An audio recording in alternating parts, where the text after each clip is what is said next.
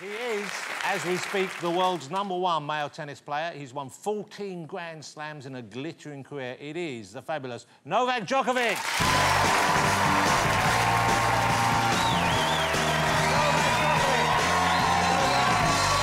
Thank you so much for coming on. Great to see you. Look at the splash over here.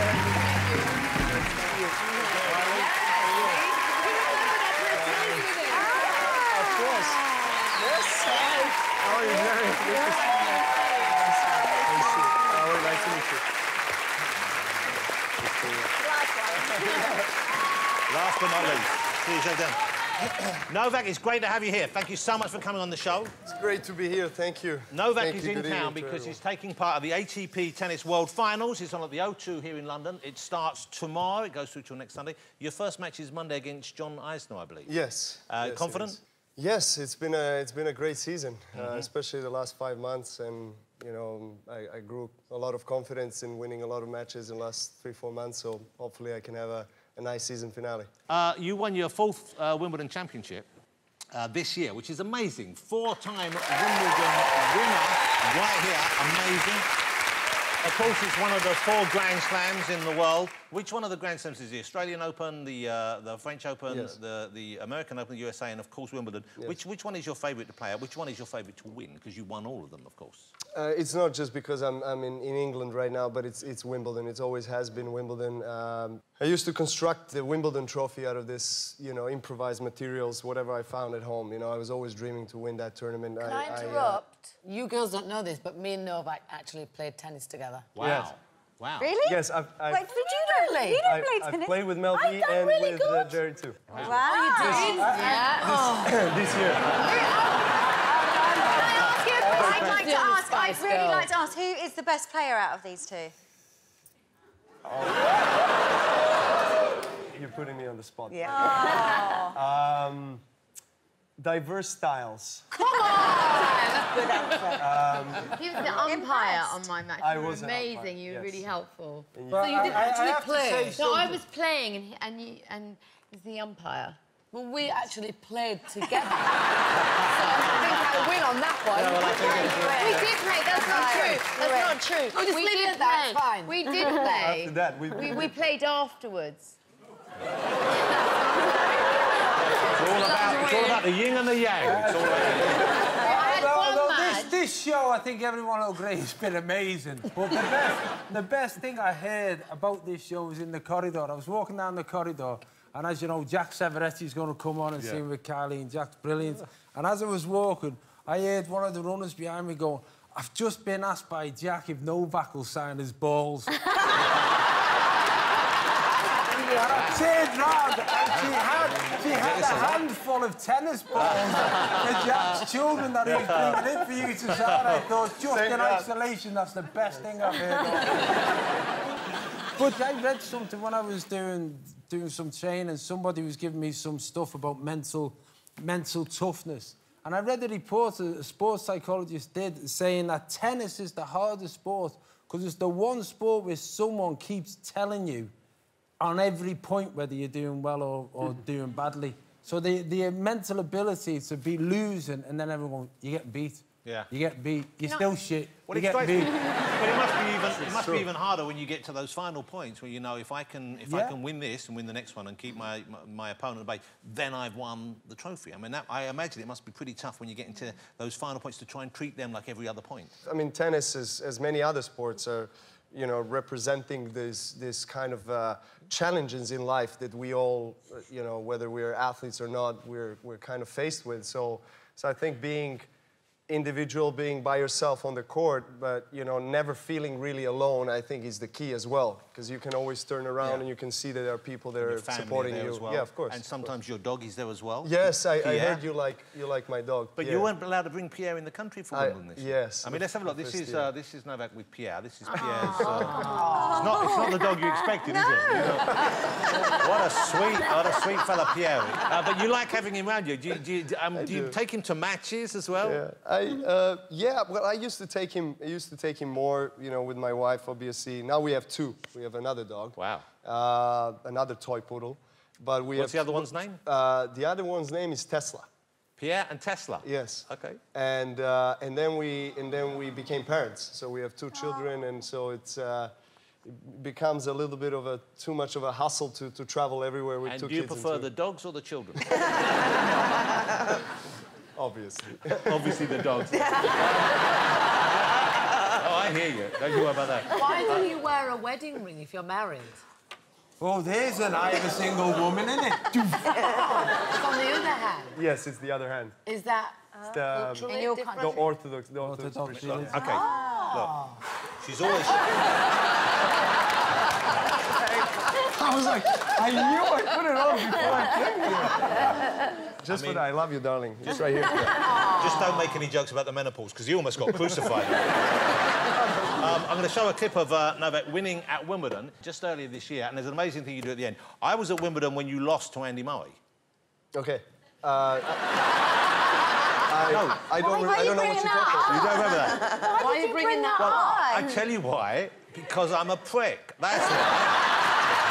And I forgot, and I was just excited. I was just excited. That happens to me all the time. I say things when... Yeah. Why aren't you wearing a wedding ring? Sorry. I... Uh, this is Novak. Winning Wimbledon this year, an amazing moment, and I love the, just the genuine reaction he has afterwards. Amazing moment. So, I, I don't think I've ever seen anyone eat some of the court before. Was that just to, it was just to remember the moment?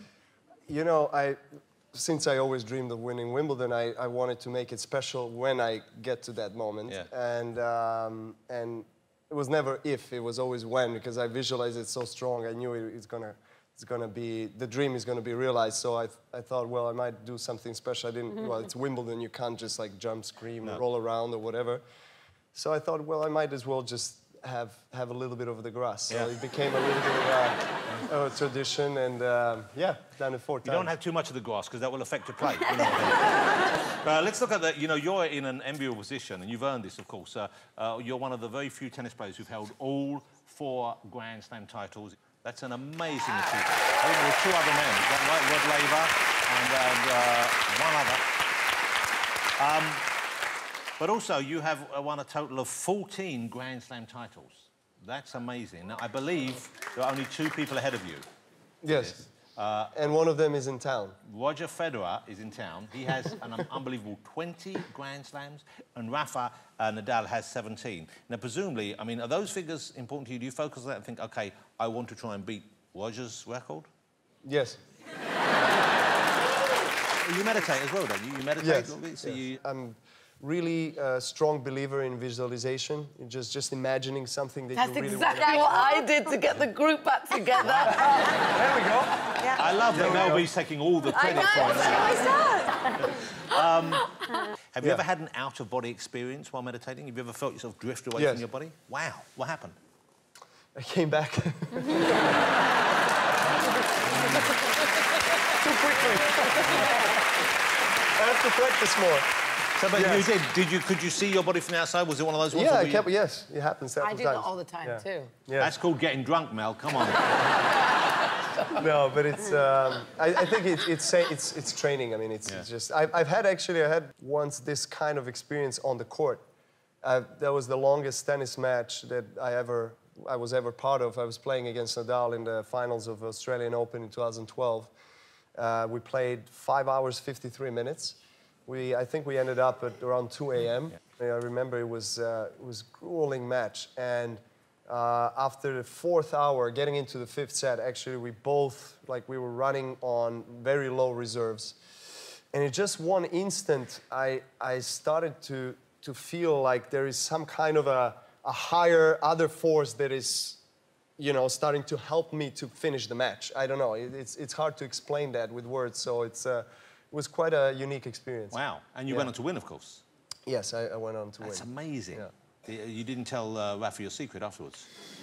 No, not, not really. Yeah, I don't know what, you know, I know what happened, but I don't know how it happened. Yeah. Yeah. Who's your favourite? Tennis Spice player. Girl or- or no, tennis player? tennis player. Who's your favourite tennis player? Is it? Well, right now it's myself. Novak, uh, I'm thrilled you came on the show. I've been a fan of yours for the longest time, yeah, and I'm sure we have many tennis fans in this evening. But to see someone play at your level and the level of focus you bring to it is just amazing. You're an incredible player. Uh, so it's much. an honour to have you here, and I know we've all enjoyed spending time. Novak Djokovic, ladies and gentlemen. Amazing. Before you go, uh, you know, I play a little bit of tennis. I don't know if Kylie, you play a little bit of tennis occasionally, don't you? When I was eight, yes. We know Mel and Geri have played with you. I don't know, Emma, do you ever play any I tennis? ha- I've played before. Okay, yeah. Mel C, you play any? Sporty. I'm terrible. Cool. Good. Well, Would you like to see the Spice Girls and Kylie and John try and take on Novak at tennis, ladies and gentlemen? So we've got a court set up here, ladies and gentlemen. We're going to have a knock-up with Novak.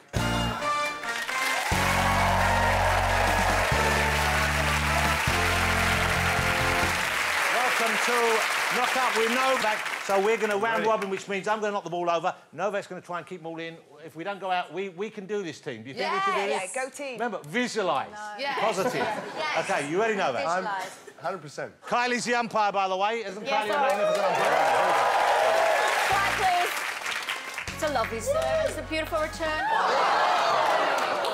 We, OK, let's start again. You go for... Now, you serve, Joey. Let's see if we can Yes. get one. Come on, we can do... Too slippery. do a bit. You ready? Are you OK with the heels? fall over. We've got Who work goes? Go. I didn't see that out. Car- carry on. Great. Oh, one to us. Yeah.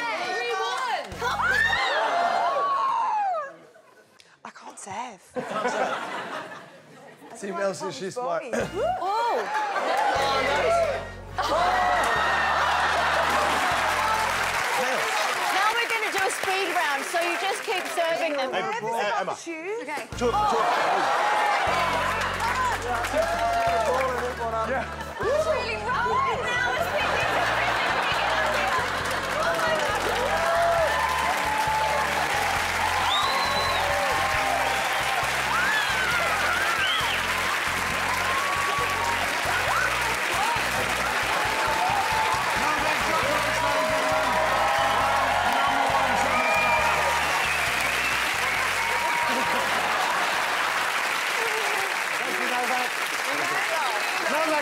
Novak Djokovic. What a great sport. So if you guys could sit back down.